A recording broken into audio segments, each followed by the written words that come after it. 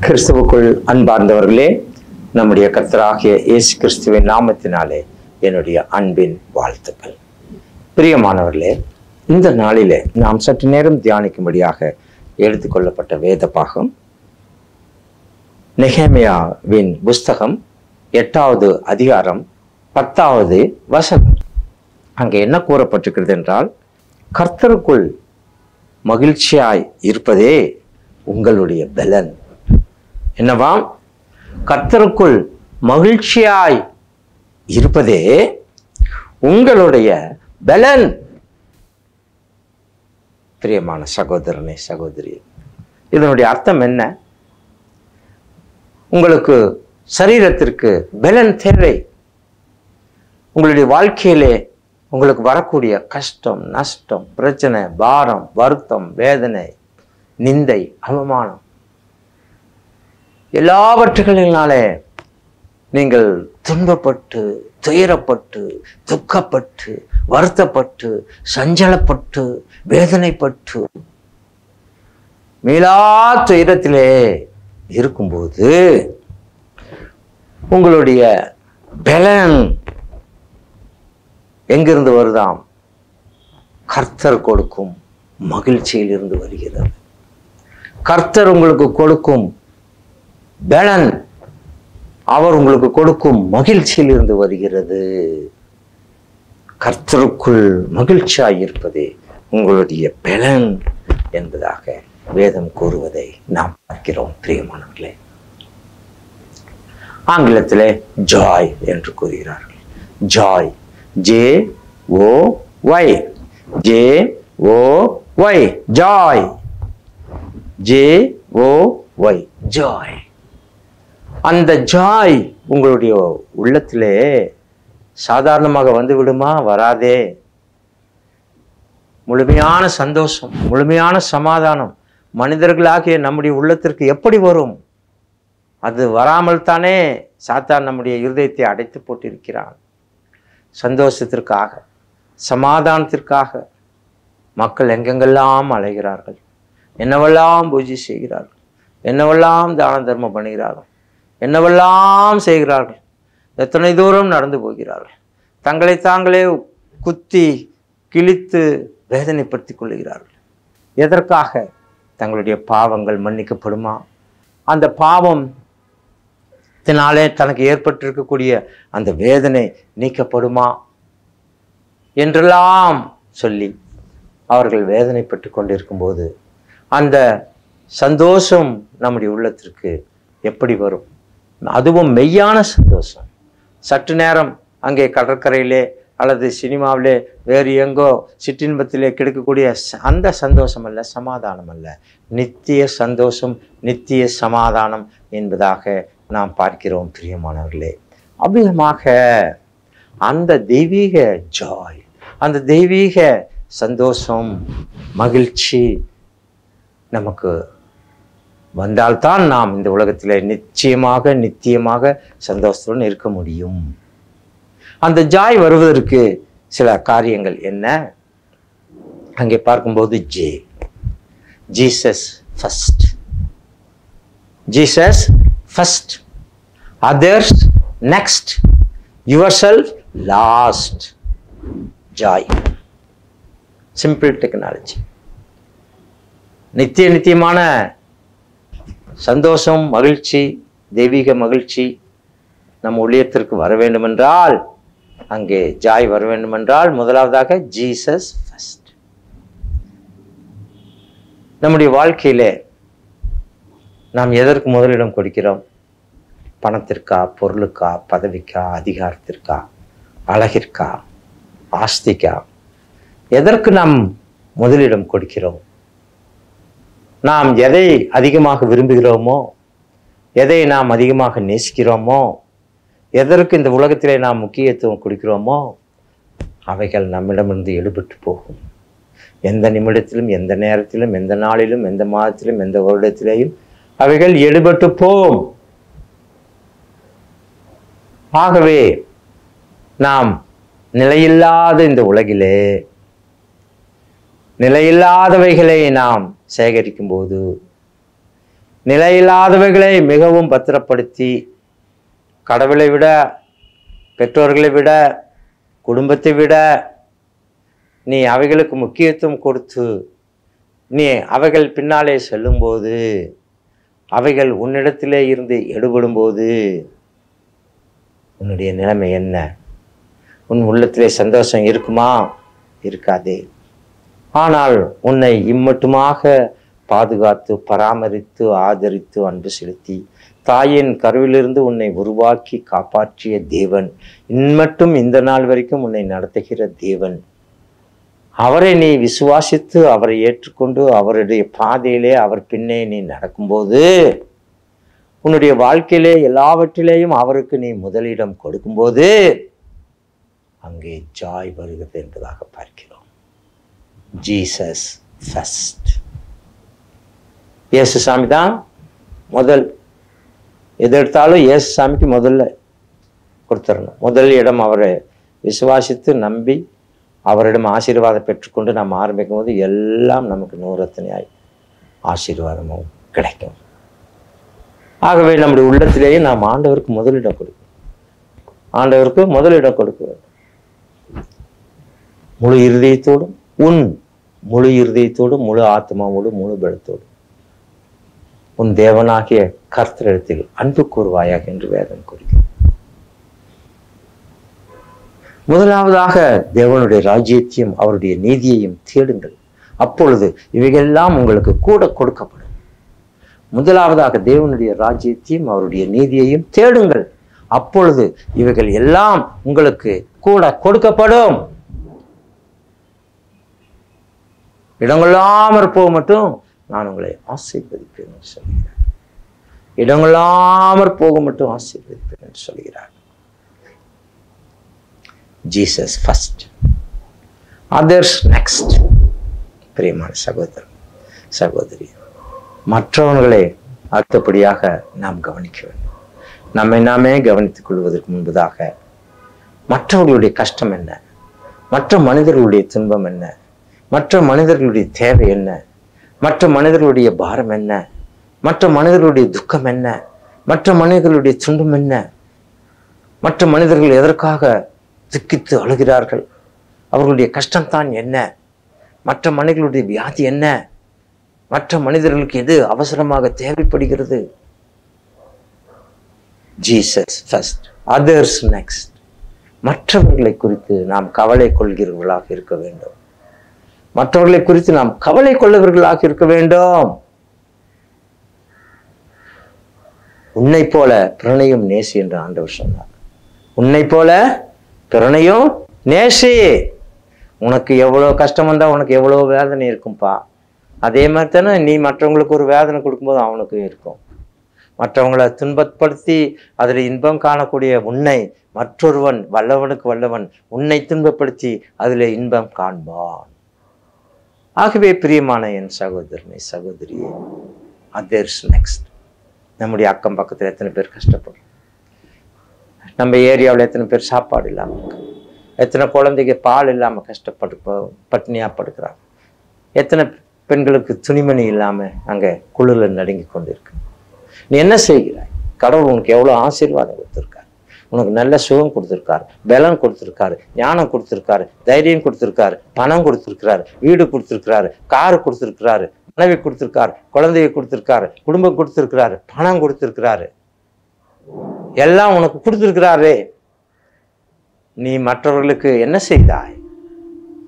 நீ மற்றவர்கள் கஷ்டப்படுவதை கண்ணால் மாத்திரம் பார்த்து கொண்டு போகிறாய் வருகிறாயே.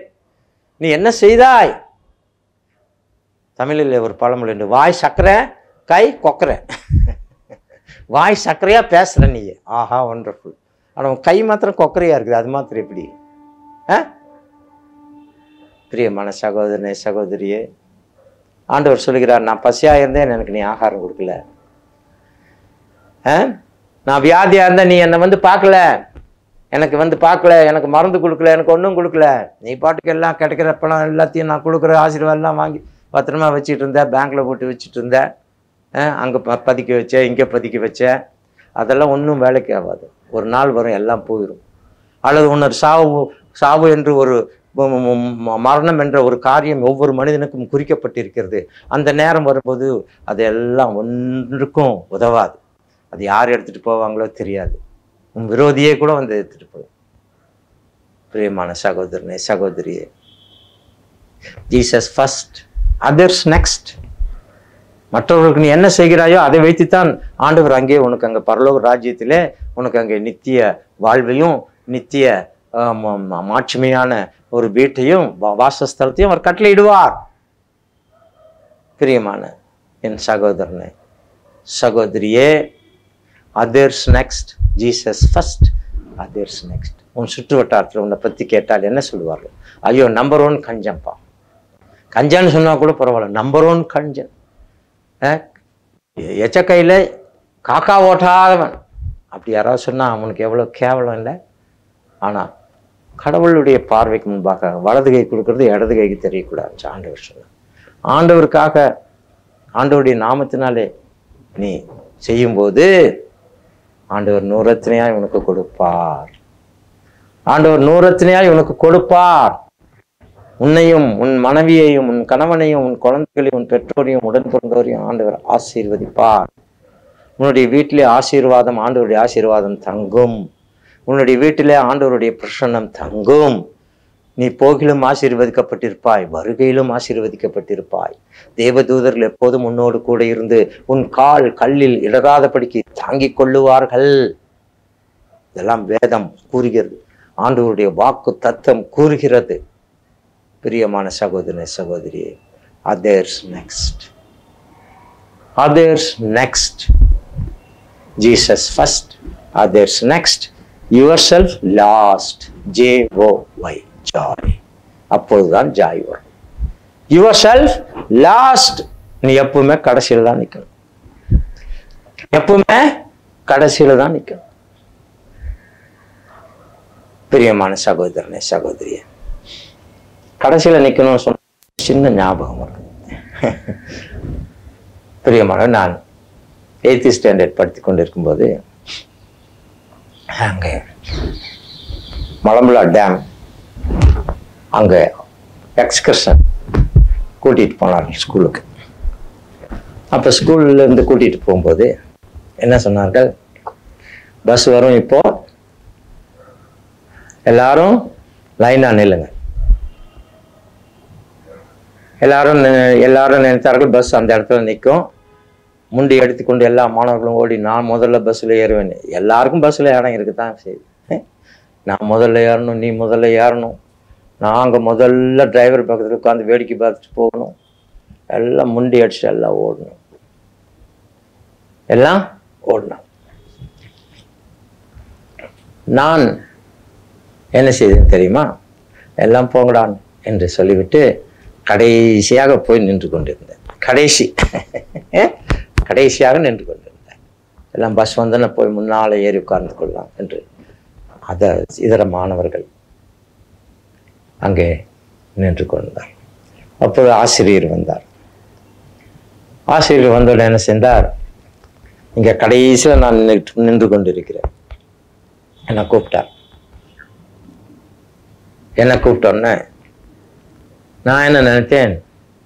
இவனுங்க போகிற வேகத்தை பார்த்தா எனக்கு நமக்கு அங்கே இடம் இல்லாமல் எங்கேயாவது சீட்டில் இல்லாமல் கீழே உட்கார வைத்து விடுவார்கள் என்று நினைத்துக்கிட்டு சரி ஓகே என்று ஆசிரியரிடம் ஆசிரியர் சொன்னார் பார் இங்கே ஒரு அந்த போர்டு ஒன்று துணி போர்டு இருக்கிறது உல்லாச பயணம் என்று அதை எடு என்று. உடனே அதை எடுத்தேன் அந்த ஆசிரியரும் என்னோட வந்தார்.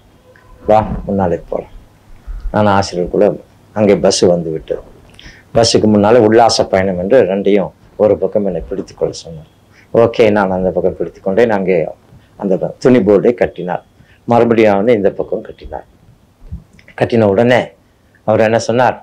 சரி நீ போய் அங்கே பஸ்ஸில் ஏறிக்கொள் என்று சொன்னார். உடனே முதல் மாணவனாக நான் போய் அந்த பஸ்ஸில் ஏறினேன். அதன் பிறகு அவர்களை பார்த்து எல்லாம் ஏறுங்கள் என்றார். நான் முதல் மாணவனாக போய் அங்கே முன்னாலே டிரைவர் பக்கத்தில் முதல் மாணவனாக அமர்ந்தேன். முன்னால் நல்லா தெரிஞ்சது கண்ணாடியில் நல்ல நான் நினைத்தேன் நான் தான் கடைசி ஒன்றுமே வேடிக்கை பார்க்க முடியாது. ஆனால் ஆண்டவர் நினைத்தா நாம் நினைப்பதுன்னு ஆண்டவர் நினைக்கிறது இல்லையா? ஆண்டவர் என்ன செஞ்சார்? என்ன? கடைசியாக போன என்ன? முன்னால் உட்கார வச்சு அந்த ட்ரிப்பு முழுவதும் அருமையாக அதே இடத்துல உட்காந்து எல்லா சீனர்களையும் நான் பார்த்து ஆண்டவருக்கு ம- ஆண்டவருக்கு நன்றி செலுத்தினேன் ஆண்டவர் தான் சொன்னார் முந்தினோரெல்லாம் பிந்தினோராயும் பிந்தினோரெல்லாம் முந்தினோராயும் மாறுவார்கள். ஆண்டவர் மாற்றி போடுவார். என் நினைவுகள் உங்கள் நினைவுகள் அல்ல. உங்கள் வழிகள் என் வழிகளும் அல்ல. பூமியை பார்க்கலும் வானங்கள் எவ்வளவாய் உயர்ந்திருக்கிறதோ அவ்வளவாய் உங்களுடைய வழிகளை பார்க்கலாம் என் வழிகளும் உங்களுடைய நினைவுகளை பார்க்கலாம் என் நினைவுகளும் உயர்ந்திருக்கிறது என்று ஆண்டவர் கூறுகிறார். பிரியமான சகோதரனே சகோதரியே Jesus first others next yourself last நீ எப்பவும் கடைசியாக தான் இருக்கணும். அப்போ தான் உனக்கு மனசமாதானம் நிம்மதியாக கிடைக்கும். ஜாய் கிடைக்கும். ஜாய் கிடைக்கும். அந்த சந்தோஷம் மன மகிழ்ச்சி உனக்கு கிடைக்கும். நீ கடைசியாக இருந்தால் தான் கிடைக்கும். முதல்ல போனால் கிடைக்காது. உதாரணமா நம்ம வீட்டில் யார் கடைசியாக சாப்பிடுவாங்க? தெரியுமா? அம்மா தான் கடைசியாக சாப்பிடுவாங்க. ஆ? கணவன் குழந்தைகள் எல்லாம் சாப்பிட்டு பிற்பாடு ஆ? அம்மாவை தான் கடைசியாக சாப்பிடுவாங்க. அந்த குழந்தைங்க சாப்பிட்றத பார்த்து அந்த அம்மாவுக்கு எவ்வளோ சந்தோஷம்? இல்லை? அந்த குழந்தைக்கு பசியில் சாப்பிட்றது அல்லது திருப்தியாக சாப்பிட்றத பார்த்து அதை ரசிச்சுட்டு உட்காந்துட்டு இருப்பாங்க. அந்த குழந்தைங்க சாப்பிட சாப்பிட இந்த அம்மாவுக்கு அவ்வளோ சந்தோஷம். எல்லாமே சாப்பிட்டு முடிஞ்சு அம்மாவுக்கு ஒன்றுமே இல்லைன்னா கூட பரவாயில்ல. அந்த அம்மா பட்னியாக படுத்தா கூட பரவாயில்ல. அந்த அம்மா மனசு நேரம் சந்தோஷத்தோட தூக்கத்துக்கு போவாங்க. ஏன்னா அவங்க தான் கடைசியாக சாப்பிடுவாங்க. அவங்களுக்கு இருக்குதோ இல்லையோ அவங்க உள்ளத்தில் எவ்வளோ திருப்தி. என் குழந்தைகள்லாம் சாப்பிட்டுட்டாங்க. என் கணவன் சாப்பிட்டான். ஆ, என் குழந்தைகள்லாம் சாப்பிட்டாங்க. எனக்கு இருக்குதோ இல்லையோ. எவ்வளோ சந்தோஷம். பசி ஆடுற ஆடுறதை விட அந்த சந்தோஷம் ரொம்ப பெரிய விஷயம். அது பெலன். அந்த மகிழ்ச்சி சரீரத்துக்கு பெலன். கடைசி. Jesus first others next yourself last நீ கடைசி மனிதனாக இருக்கும்போது உனக்கு அந்த உண்மையான சந்தோஷம் கிடைக்கும். பிரியமான சகோதரனே சகோதரியே. என்னை பொறுத்த வரைக்கும் என்னுடைய எம்ப்ளாயிஸ் எல்லாம் சாப்பிட்டு பிறகு தான் நான் சாப்பிடுவேன். முதல்ல நான் ஒரு நாளும் சாப்பிடவே மாட்டேன். நாங்கள் வெளியூர் போகிறோம் என்னுடைய எம்ப்ளாயிஸு கூட வர்ற டிரைவர் கூட இருந்தா உதவியாளர் மற்ற எல்லாரும் ஃபஸ்ட்டு அவங்க சாப்பிட்டு பிற்பாடு தான் நான் சாப்பிடுவேன். அதை நான் சாப்பிடுவேன் பிரியமான சகோதரனே சகோதரி இந்த நாளிலே உனக்கு ஆண்டவருடைய அந்த உண்மையான அந்த மகிழ்ச்சி வேண்டுமா? நெகேமியா எட்டாம் அதிகாரம் பத்தாம் வசனம் சொன்ன வசனத்தை போல கர்த்தருக்குள் மகிழ்ச்சியா இருப்பதே உங்களுடைய பலன். கர்த்தருக்குள் மகிழ்ச்சியா இருப்பதே உங்களுடைய பலன்.